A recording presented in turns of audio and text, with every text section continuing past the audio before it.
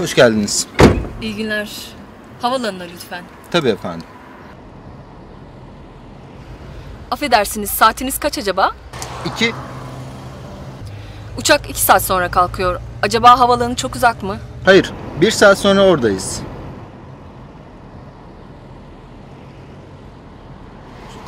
Yolculuk nereye? İzmir'e. Peki kaç saat sürüyor?